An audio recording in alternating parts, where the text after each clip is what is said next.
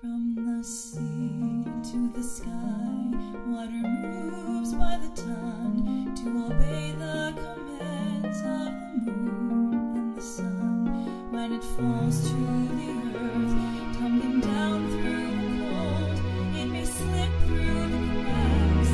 We all slip through the cracks. But we find our way back to the If you have to go, I just want you to know.